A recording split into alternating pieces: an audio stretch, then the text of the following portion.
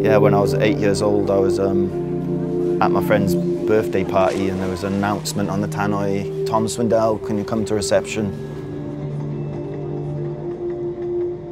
My friend's mum picked me up and said, oh, we got to go to the hospital. And she said, oh, there's some, you know, your brother, there's some situation with your brother. The second we got to the hospital, I could see my parents at the door of the hospital. It turned out that um, a couple of hours before, my mum went to call my brother for, um, for food. Uh, she went out to the garden and he was um, hanging on, on, on a rope swing.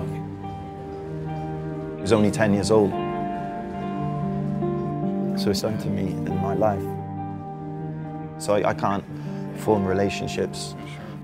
As I got into my mid-30s, just this pain started to come up, man. I just find myself crying for like really spontaneously.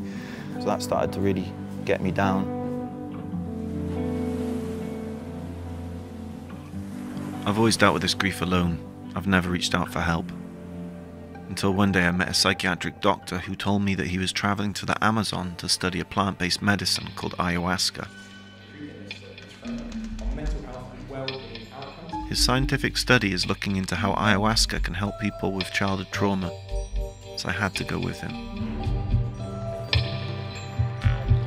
The curanderos would say that it's the spirit of the plant that heals you, not the chemistry of it. And so your relationship with the spirit is the most important aspect of the healing process. You know, ayahuasca provides this experience that goes beyond meditation, beyond visualization, beyond intention.